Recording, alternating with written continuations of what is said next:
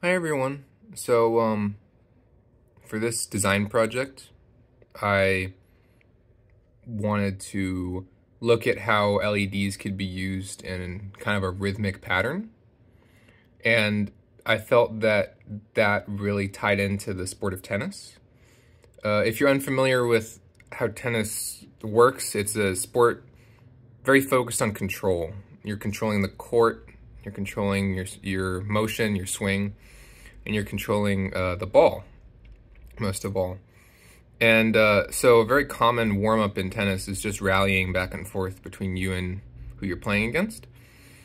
And um, so I felt that was very appropriate for for this rhythmic pattern. It when rallying and you finally get that sense of control, it feels very calming. You kind of like can just exist in that moment. And so I felt this was a pretty good parallel.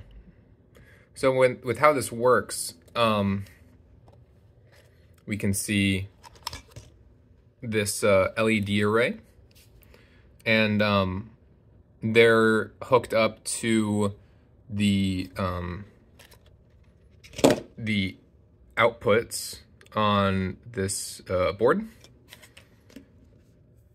And simply powered by a, a 9 volt battery when it comes to how this this code works, it's it's functioning as a sequence. So as you can kind of see, the LEDs just like to bounce back and forth.